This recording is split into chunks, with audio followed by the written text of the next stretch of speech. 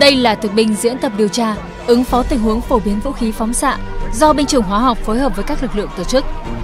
Nhóm đối tượng phản động sử dụng thiết bị nổ tự chế, thiết bị bay không người lái tấn công khủng bố vào nhà ga đường sắt. Đây là loại vũ khí có nguy cơ hủy diệt hàng loạt và rất nguy hiểm cho người và môi trường sống. Diễn tập tình huống là sự phối hợp hiệp đồng của các cán bộ chiến sĩ tham gia diễn tập thực binh theo quy trình phối hợp với địa phương, lực lượng công an, phòng cháy chữa cháy, cứu nạn cứu hộ, y tế. Cái điểm mới trong lần này là chúng tôi phối hợp với tất cả các cơ quan bộ ngành. Thế rồi thì à, thực hiện à, đồng bộ về các cái phương tiện trang bị vũ khí để tổ chức huấn luyện. Qua quá trình tổ chức luyện tập này, chúng tôi củng cố về nguyên tắc hành động à, của các cơ quan ban ngành trong thực hiện phối hợp giữa các ngành, các bộ để thực hiện các cái tình huống bất ngờ đồng thời khẳng định nguyên tắc hành động của các phân đội trong quá trình tổ chức nhiệm vụ và tăng cường khả năng và cơ động cũng như là năng lực của các phân đội trong thực hiện xử trí các tình huống khi có tình huống xảy ra à, để đáp ứng yêu cầu nhiệm vụ trong tình hình mới.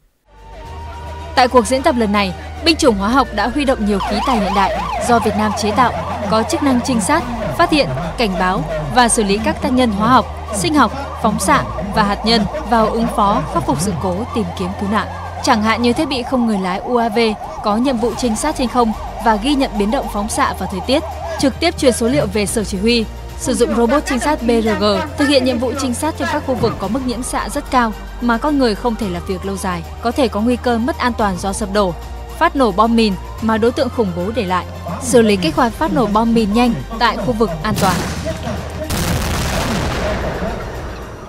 thì công tác ờ, ờ, chỉ đạo phối hợp thì đòi hỏi rất nhiều cái bộ ngành chúng ta tham gia thực thi những cái nội dung này thì chúng ta phải tham mưu cho uh, chính phủ để xây dựng được cái chương trình hành động quốc gia trong vấn đề phòng chống và phổ biến vũ khí diệt hàng loạt trong đó thì có cái ờ, đánh giá những vấn đề rủi ro trong cái cái tài trợ trong vấn đề chống trong cái khủng bố vũ khí hủy diệt hàng loạt hay là cái ờ, phòng chống rửa tiền phối hợp với lại ngân hàng nhà nước Việt Nam. Hay là đối với bộ ngoại giao thì chúng ta là một cái trong vấn đề có những tiếng nói để thực hiện Ờ, làm Việt Nam là một cái đất nước yêu chuộng hòa bình và rất tích cực trong cái cái cái, cái thực thi các điều ước các định ước quốc tế về phòng chống và phổ biến vũ khí hủy diệt hàng loạt. Thế rồi thì chúng ta à, có cái ờ, tiến hành một loạt các hoạt động liên quan đến cái quản lý huấn luyện diễn tập. Và đặc biệt là vừa rồi chúng tôi có cái tham mưu cũng như là tổ chức chỉ đạo huấn luyện diễn tập ở các tỉnh trong vấn đề phòng chống phổ biến vũ khí vì rằng là khi xảy ra trên các địa bàn. Sau gần 2 giờ thực hành diễn tập tình huống, cuộc diễn tập đã thành công tốt đẹp, đảm bảo an toàn cho người và phương tiện tham gia diễn tập.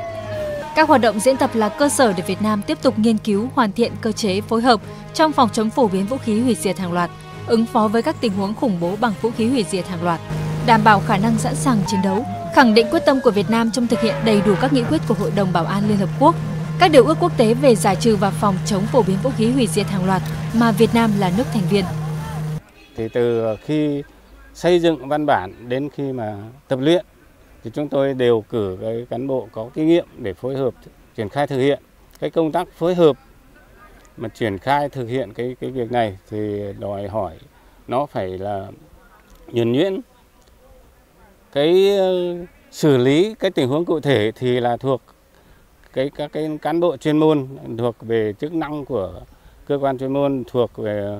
bộ đội công an. Nhưng mà cái quá trình